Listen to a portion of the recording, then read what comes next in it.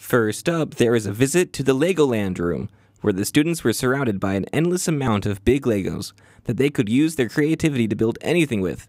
They constructed castles, bridges, a house, a wall, and so much more. What a great time for both the teachers and students. The students loved taking part in the LEGO activities offered there and displayed a strong understanding of the LEGO sets at the museum due to their practice with our sets here at the school. It's great to see them displaying their ever improving skills outside of the school.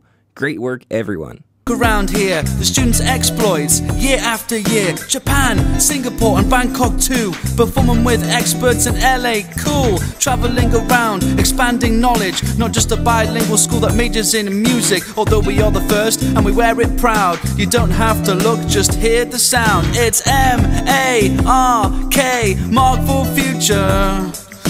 M A R